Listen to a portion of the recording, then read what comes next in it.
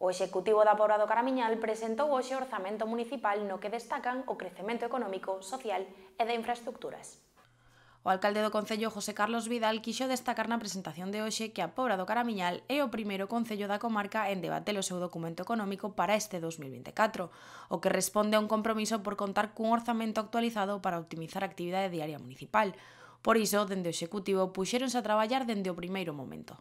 Eh, para este goberno é esencial contar cun un orzamento actualizado para optimizar o desenvolvemento da actividade diaria municipal.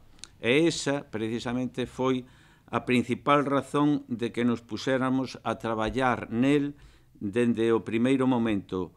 O orzamento aposta por un crecemento económico, social e de infraestructura, o que todo aporta por mellorar a calidade de vida dos veciños e veciñas do Concello.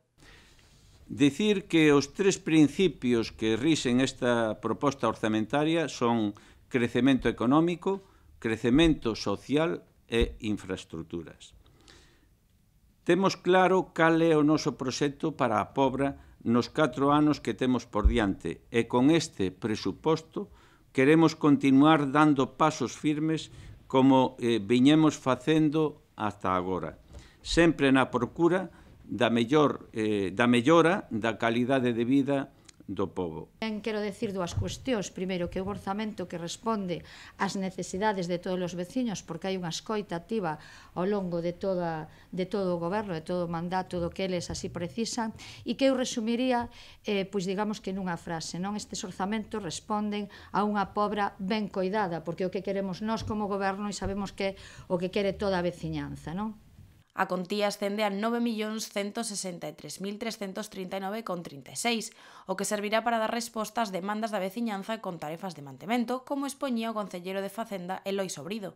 Podemos destacar que prácticamente en todas as concellerías eh, se incrementa os cretos que van destinados ao que ven sendo o mantemento, eh, por exemplo, en servicios municipais se incrementa a partida destinada a desbroces, en ensino tamén incrementamos o que ven sendo destinado a mantemento de de colexios. Mas tamén coa incrementación de servizos. Pero tamén incrementamos servicios como pode ser socorrismo, policía local e eh, monitoras de conciliación, o sea, os servicios de conciliación. Por que digo que se incrementan? Porque os socorristas en verán vanse contratar por medio mes máis, os auxiliares de policía tamén se incrementa a cuantía para telos un mes máis, e as monitoras de conciliación pois tamén se incrementa o número para poder atender pois de mellor este servicio. O edil de urbanismo destacaba incluso o positivo de engadir engadir partidas a áreas que non dispoñían de presuposto e que servirán para así dinamizalas. E a valoración que facemos de, desde Nos Pobra tamén pois é moi positiva no sentido de que se, se lle sigue dando pois eh, importancia a áreas que no 2015 non existía, non? como medio ambiente, como eh, participación,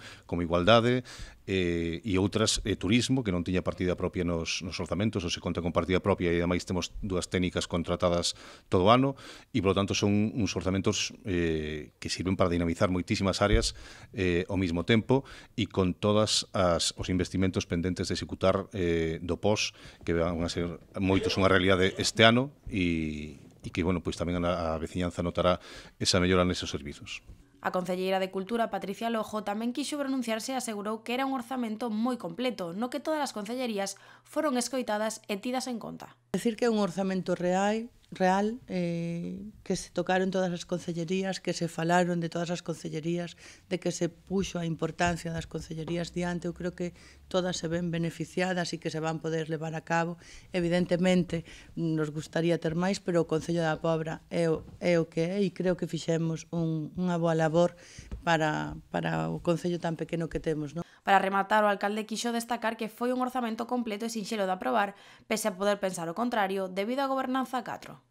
É importante dicir que, en contra do que poidera parecer ao ser un goberno cuadripartito no que, en principio, os intereses poderían ser moi diferentes, o acordo non foi nada difícil, todo o contrario.